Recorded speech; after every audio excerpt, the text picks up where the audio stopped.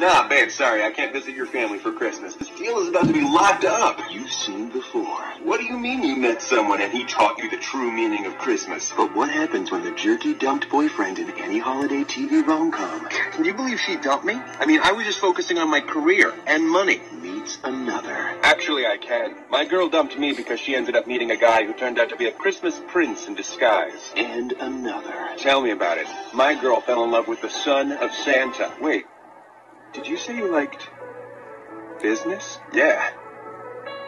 Do you like business? Yes. And money.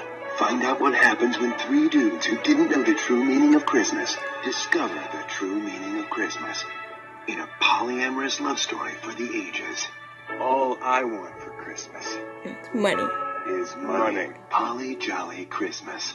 Coming December 25th to Lifetime. It's a classic tale